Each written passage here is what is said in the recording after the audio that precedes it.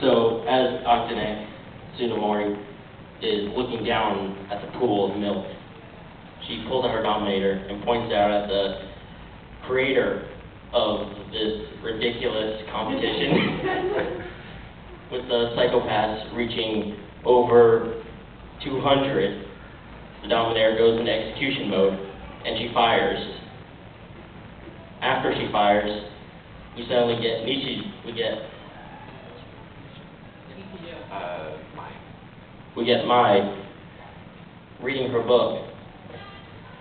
We get N- Mai reading her book, looking over, and just smirking. Switch. She laughs at this large pool of milk, questioning how did they get so many cows? Who milked all these cows? Ridiculous pool of milk. She thinks as she reads her book silently to herself. Though she is still competing, as there is a very worthy prize. Nobody knows it. It's very secret. She knows it'll be something worth diving into milk for. Switch. Such a mysterious prize, of course, caught the interest of Masaomi Kida, who of course has dragged his best friend Mikado into it. Mikado stared down into the milk bowl, wondering why or why does he always let Masamune talk him into these crazy things. Meanwhile, the third party of the group, Anri, is wondering whether or not she is someone who should really be in a situation like this. She questions constantly why she hangs out with the friends that she does, being someone who honestly shouldn't have friends. But as a parasite, she, think, she believes that perhaps sticking to them will be just fine, though the milk is questionable. Switch. Tsunemori, looking over the crowd with her Dominator, sees that the, the Psycho-Pass is completely clouded and that everybody seems to be somewhat insane. Realizing that the system needs to change, she decides to turn from the Sibyl system to the Nichijo system, where where Yuno, or Yuko, Mai's friend, is also awaiting to challenge the competition. Being a jokester herself, she looks over this pot of milk and, and declares, This pool is of utter insanity. And nobody laughs, thus setting in her depression. this causes her to get an insatiable craving for milk. Knowing that she cannot drink in front of all these adoring fans, she go, she finds the door to the back room, unlocking it with a small hairpin and sneaking inside to find the largest straw she possibly can to suck the milk out. Switch.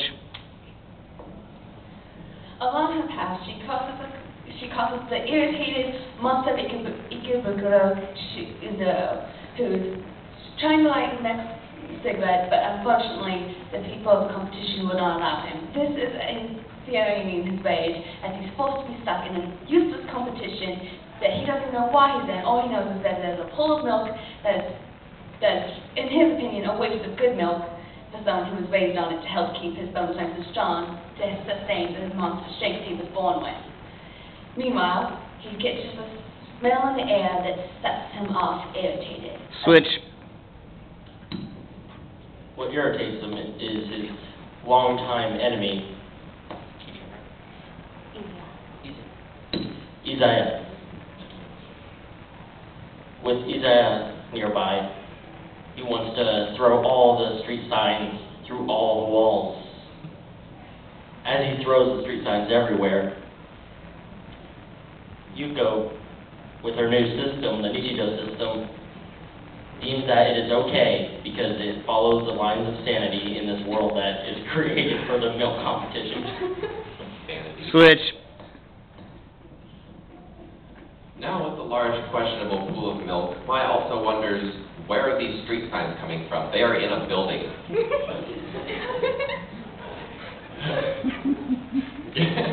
Getting her milk swimsuit on, she starts her slow walk towards the high dive. Slightly afraid of heights, she makes sure to bring her extra pair, her extra swimsuit add-on to ensure that she will have a safe dive into the milk. A street sign almost hits her though on her way up, cutting all cutting off half of her hair. Slightly frightened by this, she becomes more nervous as she approaches the high dive. Yu- Yuko, still in the back, searching for the largest straw she can. Switch.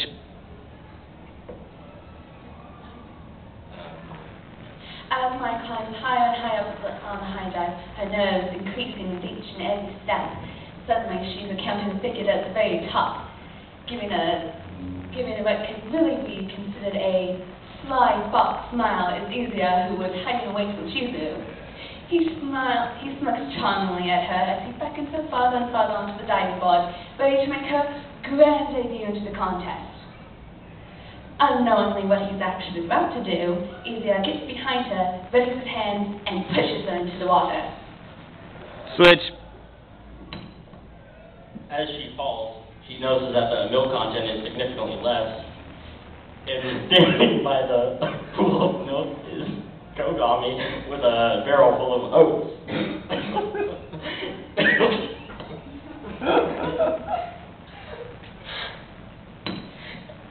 As he looks down at the pool,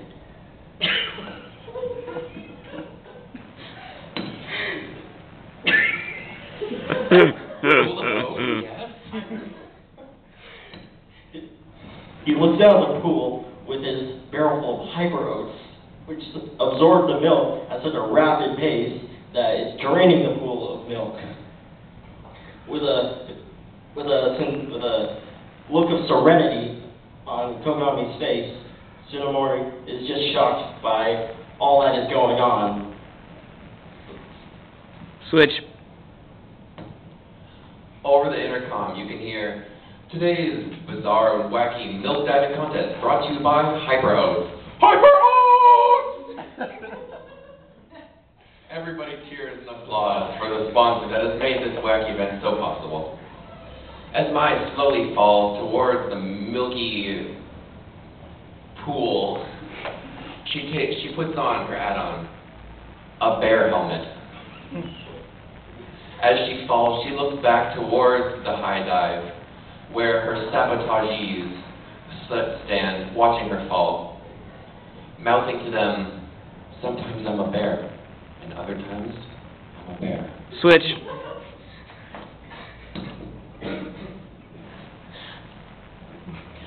Watching, watching my fall upon her descent is into a brief moment of most satisfaction before leaping off the dive board to avoid a sudden, a certain flying street sign for one very angry Shizu. Shizu has completely forgotten about the competition as he chased after Izaya outside the building. Meanwhile, uh, Mikado has watched the entire scene with a look of absolute horror in his face, wondering why once again does he let Kida talk him into these things. Switch. Give it a good ending. With all the craziness and Mai still falling, what suddenly occurs can only be seen as a miracle.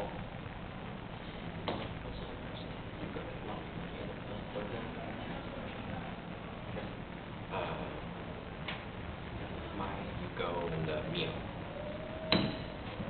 A German suplex is suddenly performed in mid-air because Mai happened to see a picture of a doujinshi featuring the president of their school, which is drawn by Mio, drawn by Mio. So, as the German suplex takes place in midair, Mai falls unconscious, and the crowd just gawks at all the insanity. Okay. Is, is that it? broadcast brought to you by Hyper Oats. Hyper Oats!